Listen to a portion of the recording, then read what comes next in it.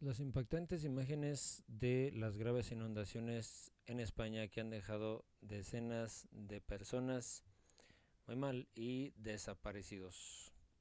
Como pueden ver, eh, pues esta es la, en la primera fotografía ya nos podemos imaginar cómo les fue a la gente eh, con sus coches. Eh, como pueden ver, es la ubicación, la forma de las calles o, o bien. Esto qué será, oigan, solamente la gente de allá puede decir qué pasó. Vamos a ver si podemos encontrar algo de información porque eh, se ven un montón de coches a, este, eh, revueltos junto con muebles y dicen que es un, un, fenómeno meteorológico el que se le llama Dana y dice al menos 140 personas eh, dejaron de existir y decenas permanecen desaparecidas por las graves inundaciones que han afectado a la región de Valencia, en la costa este de España. Pues es en la costa, quizás sea como una especie de maremoto, algo así. En unas pocas horas cayó en algunas horas el equivalente a un año de lluvia, lo que provocó grandes riadas que arrasaron localidades enteras, dejando atrapadas a miles de personas. Dada la dimensión de la tragedia, considerada una de las catástrofes naturales más grandes de la historia reciente de España, se han declarado tres días de luto en el país europeo. Las precipitaciones que llegaron acompañadas de fuertes vientos y tornados han sido provocadas por un fenómeno meteorológico conocido como depresión aislada en niveles altos, que ha afectado a una amplia zona del sur y el este del territorio español. En algunos lugares han caído más de 500 litros por metro cuadrado. También hay, eh, también hay personas en las comunidades que, pues, que ya dejaron de existir, de Castilla, La Mancha y Andalucía.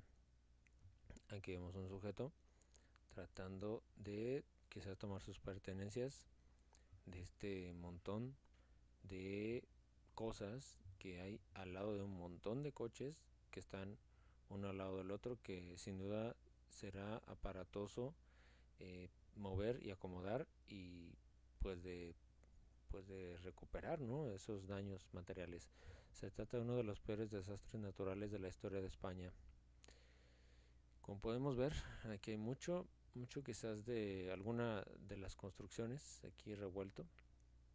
Nada que no se pueda arreglar, ojalá que solo se tratara de algo material, un coche, una casa, es todo, ¿no? Un local, ¿no? Pero desafortunadamente acabó con miles de vidas humanas y esto es eh, pues muy feo, muy malo. Aquí podemos ver la zona, el área. Dice varios barrios densamente poblados, mar Mediterráneo, puerto de Valencia. Me supongo que entró por aquí, por aquí es por donde entró este fenómeno meteorológico, cosa por acá, porque ven hay, una, hay un par de entradas de agua. Vamos a ver, dice río desbordado por aquí, ¿sí? por acá, si vemos la diferencia, vamos a ver como que este, este es lo que hará inundada. Todo esto, todo esto se inundó, todo esto. Los sedimentos se desplazaron 30 kilómetros mar adentro, sedimentos que estaban aquí como pueden ver, pues provocó todo esto. El gobierno español ha señalado que se trata de una de las peores lluvias de lo que va en el siglo XXI en el país. Dejó este coche aquí parado y pues eso desata multitud de cosas inconvenientes para esta región, inclusive saqueos, ¿verdad? Aquí dice España. Muy bien todo esto ha sido afectado. Aquí hay un, coche quizás iban circulando incluso es lo peor. Dice los torrenciales aguaceros cayeron este martes y miércoles en el sureste de España muy mal viene toda la gente ya va quizás de las que han salido de los autos o de sus casas evacuaron un poco o mucho Vecinos de la localidad de Paiporta caminan por una de sus vías y evalúan los destrozos. Muy mal. El presidente del gobierno de España, Pedro Sánchez, dijo este miércoles que no abandonarán a las víctimas afectadas por las inundaciones y que se reconstruirán los pueblos y ciudades afectadas por las inundaciones. Por su parte, la presidenta del Parlamento Europeo, Roberta Metsola, expresó su solidaridad con todos los afectados y dijo estar agradecida los socorristas que están haciendo todo lo posible. Y dice, los analistas de seguros predicen que las inundaciones de este martes y miércoles se convertirán en el desastre natural más costoso que jamás haya azotado España, según informa el diario español El País.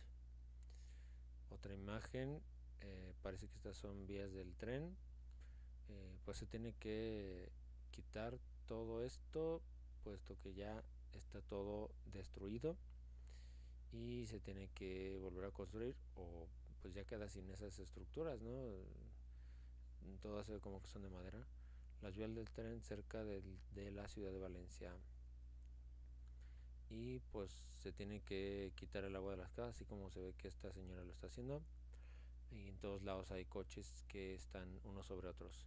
Muchas personas debieron permanecer en el techo de sus casas y carros. Sí, muchas personas se tuvieron que subir a los techos de casas y carros. Dice que se han desplegado mil efectivos para ayudar en las operaciones, en todo esto de rescate. Bomberos, bomberos haciendo aquí su trabajo en un lugar eh, muy destruido. Esto es un común poste de luz Dice, debido a las fuertes lluvias, las más intensas casi en un siglo, muchas personas pasaron la noche encima de sus autos esperando ser rescatadas. El gobierno central informó que los trenes y vuelos se vieron gravemente afectados con cancelaciones generalizadas y además eh, las lluvias también dejaron sin electricidad a unas 150 mil personas y han causado de muchas carreteras quedaran cortadas. Entiendo que por allá la electricidad es privada, se privatizó, así que eso es, dificulta más las cosas. Estos coches eh, yo creo que van circulando, eso sí, porque uno sobre, quedaron uno bajo el otro. Eh, aquí está este señor mm, en medio de todo esto. Las fotografías reflejan una, pues una, un sin saber qué va a pasar, ¿no? ¿Qué van a hacer? Decenas de refugios temporales se han instalado en las poblaciones cercanas a donde se originó la emergencia. Imagínense amigos qué difíciles momentos, ¿verdad? Porque ahorita en el estándar de la vivencia, de, vivir, eh, pues la gente está, está pues se procura la, que la gente esté cómoda, ¿no? La gente se procura comodidad y hasta con internet, ¿no? Hasta sabes lo que pasa con tus artistas favoritos, ves una película, estás seguro y cómodo en tu casa, pero imagínense estas personas por la dificultad que atraviesan. ¿no? Las autoridades españolas desplegaron a más de mil uniformados para ayudar en las labores de rescate. Aquí está, miren, otras personas ahí. Aquí otra fotografía. Aquí una persona, otra persona, otra persona que está llevando un cuadro y los mismos coches no permiten circular ni a otros coches ni a gente. Aquí un coche sumergido en un lago. Se perdió totalmente, yo creo, porque ya no funcionan cuando están totalmente sumergidos. ¿no? El término Dana comenzó a ser usado por meteorólogos, por meteorólogos españoles hace unas décadas para diferenciarlo del de gota fría, más genérico e impreciso y que suele utilizarse para hacer referencia a cualquier situación de lluvia intensa y abundante, sobre todo cuando ocurre en la costa mediterránea en la península ibérica durante el otoño. La dana es un fenómeno en el que una masa de aire polar muy frío queda aislada y empieza a circular a altitudes muy elevadas, entre 5.000 y 9.000 metros, lejos de la influencia de la circulación de la atmósfera. Luego, al chocar con el aire más cálido y húmedo que suele haber en el mar Mediterráneo, genera fuertes tormentas, sobre todo a finales del verano boreal y principios del otoño, cuando las temperaturas marítimas son más elevadas. Me supongo que es algo parecido a lo que pasó acá en Guerrero con, ¿cómo se llamaba la, tormenta que llegó? No recuerdo, huracán. Y luego llegó el de John, ¿verdad? Em, como otra fotografía, otra imagen de que estamos viendo una devastadora, un devastador eh, suceso. Y acá tenemos una fotografía que hemos visto y bueno, aquí explica lo que es esta fotografía no la habíamos visto. Otra calle con, con autos. Es que parece ser que aquí, bueno, o quizá los agarró en, plena, eh, en plena actividad del día, ¿no? Porque pues muchísimo carro, ¿no? Para esto, entonces les llegó y nadie pensó que fuera a ser pues el, el Dana, una, Dana. Eh, esto que pasó en España. Como ven. Y bueno amigos, eh, también hay, que hablar de otro tema, quizás eh, veamos todos los videos en un siguiente video, pero por el momento eh, les voy a poner el, el video más em, escalofriante del caso Candance Gardner. Vamos a verlo. Vieron cómo se le pues cómo se le mueve el pie. Ella es la señora Candance Garner. Este es su Twitter. Su Twitter es este. Eh, no es un Twitter muy muy extenso. Este es su hijo que en el Twitter dice que cumplió nueve años.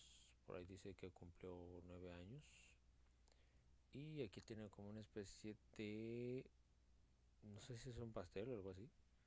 Está con un amigo y con su novia o su esposo más bien. Y eh, pues el caso es que ella estuvo haciendo una especie de investigación si se puede decir así porque ella estuvo interesada en lo paranormal en las cosas esotéricas de rituales y todo eso, que esa brujería, no sé. Pero realmente, pues ella estaba muy interesada en estas cosas, ¿no? Dice que eh, en ese momento de, que hizo su Twitter en, en el 2015 me parece, eh, vamos hasta abajo, a ver cuándo lo comenzó, dice la fecha, en el 2014, o sea que en el 2015 cuando ya dejó de subir fotografías, eh, aquí dice la fecha 2015, duró un año con ese Twitter subiendo cosas algunas y pues su hijo de, de 9 años, ¿no? Quiere decir que ahorita tendría ella más o menos 39 años, ¿no? Y bueno, pues eh, hay varios videos, por eso les digo que en un siguiente video, si quieren les pongo más videos de este caso. Y ven, el caso es que algo muy extraño sucede ella sube el pie así, su pierna. Bueno, más bien no lo sube ella, sino que alguien se lo sube y ven la extraña, no, la extraña torsión, no me extraña que hasta se, la, se lo hayan lesionado. Su esposo está dormido, por, su, por cierto que en una muy mala posición para dormir, creo que no sé si está sentado, más bien está acostado, es un, sillón así, no sé por qué están en esa, en la sala,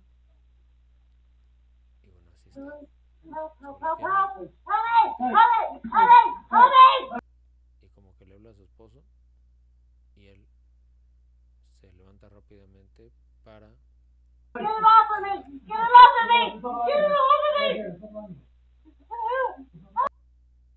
Algo dice algo así como que, se lo quite, algo así, ¿no? Están los juguetes de su hijo, su hijo de ellos, que es, es una tablet tablet que dejaron por ahí. Y bueno. ¡Ah!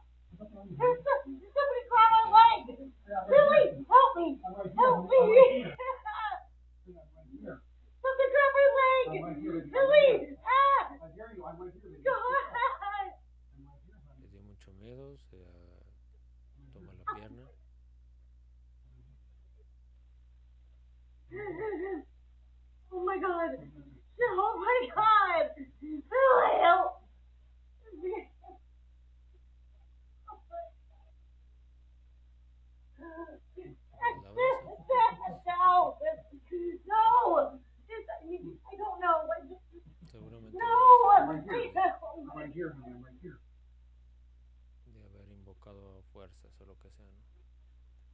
Aquí se puede ver el detalle del, la fecha del video.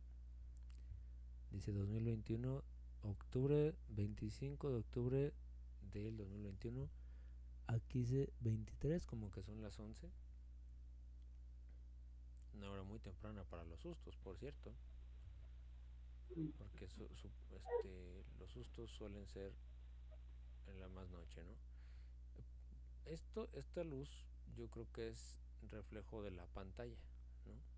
De la pantalla, ¿no? Pues parece como que sea de día. Pero pues sí, también es extraño que, que se duerman con la televisión, quizás por miedo, no sé.